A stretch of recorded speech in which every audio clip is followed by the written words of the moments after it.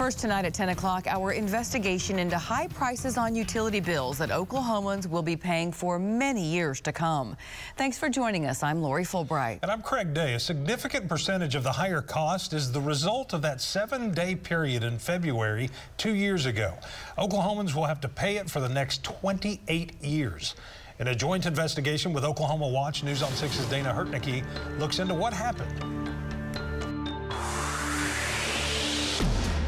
There will be a lot of discussions. Develop more stringent reserve requirements so that we can ensure to continue to be able to keep the lights on in the future. In February 2021, Winter Storm Uri gripped Oklahoma in its icy grasp. Temperatures plummeted, snow moved in, and utilities warned and sometimes carried out rolling blackouts. Three and a half percent of the bill Oklahomans not realizing once the ice thawed, they would be on the hook for an additional two, three, or even $4,000 per household, spread out over the next nearly three decades. I don't know about anybody else, but the only thing that I've ever financed for 30 years has been my house.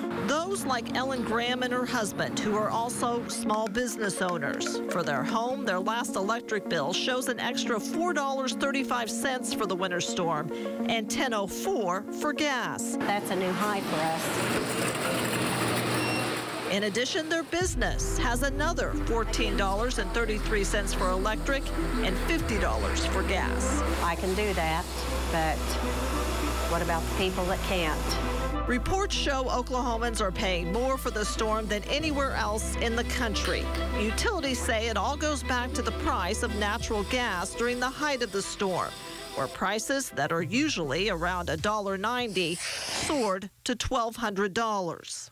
Oklahoma, for whatever reason, was paying the highest prices in the whole region, and everyone was affected by the same storm.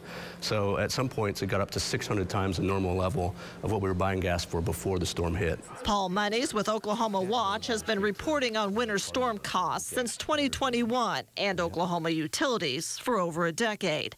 Together, we spent months sorting through hundreds of pages of regulatory filings and public information requests. There's other states that have done some stuff on their own cases that come from, from the storm. Uh, and in fact, Minnesota, um, their Attorney General recommended them taking off about $60 million in their storm costs uh, because they didn't think the utilities acted wisely during that storm. And so that was only 10% of what they asked for in Minnesota, but it shows that there are other ways to get into this, and other states have done some more work that maybe we didn't get to in Oklahoma. We reached out to Oklahoma Natural Gas, but no one from the company would agree to an interview nor would they answer any of our questions. We were very concerned for our customers. But an executive from OG&E did agree to sit down with us. So our primary responsibility was to maintain the electric supply to our customers, and I think we did that well. We just had to pay for the gas at the levels that were available in the marketplace. But Oklahoma was so much higher, so much higher than anywhere else in the country. Well, we have a lot of natural gas here, and we have a lot of natural gas infrastructure. And so we have a lot of development, you know, exploration for natural gas. And when all of that production froze up, the price here probably went up more than it did in other places. They had the expertise in gas procurement, and uh, there were missteps. And when you and I make mistakes, we have to pay for them. And um, they didn't. Uh, the customers are on the hook for all of it. The legislature quickly passed securitization, ultimately pushing the entire $2.7 billion debt, plus an additional 2 billion in interest and fees onto ratepayers. These so-called ratepayer-backed bonds, sometimes called securitization, are the worst fleecing of Oklahoma ratepayers in the history of Oklahoma. Commissioner Bob Anthony was the sole no vote at the Corporation Commission who ultimately had to approve the deals. He argued through deceit and conflict of interest, the process imposed hundreds of millions of dollars in unnecessary costs. Ratepayers deserve to know how much they're being asked to pay and who's getting the money they deserve to know the names of the brokerage companies, of the law firms, of the financial advisors, of the consultants, and anybody that was getting money and is still getting money. They deserve to know the truth and the facts. And if they did, a lot of it would be horrifying.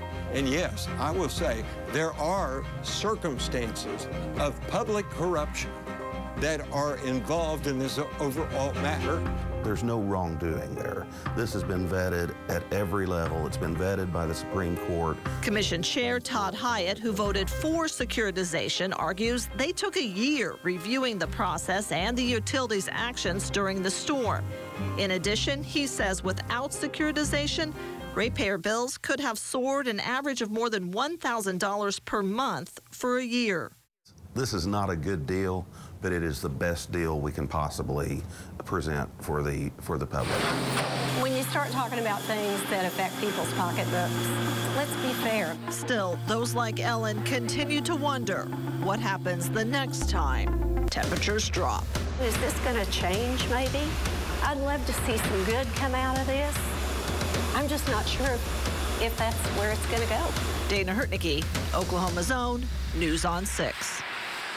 We want to let you know that we did reach out to PSO and the utility answered our questions. They say paying the historically high fuel costs during Winter Storm Uri was necessary to maintain stability of the grid and provide consistent service during an extreme and life-threatening event. The company goes on to say it made no profit from the extraordinary high natural gas prices.